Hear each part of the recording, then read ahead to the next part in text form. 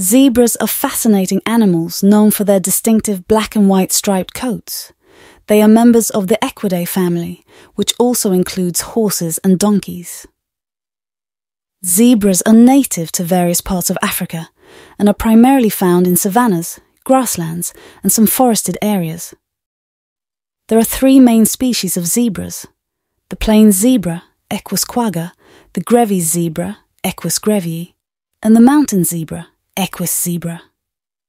The Grevy's zebra is listed as endangered by the International Union for Conservation of Nature, IUCN, due to habitat loss, competition for resources with domestic livestock, and poaching. The plain zebra and mountain zebra are listed as near threatened and vulnerable, respectively.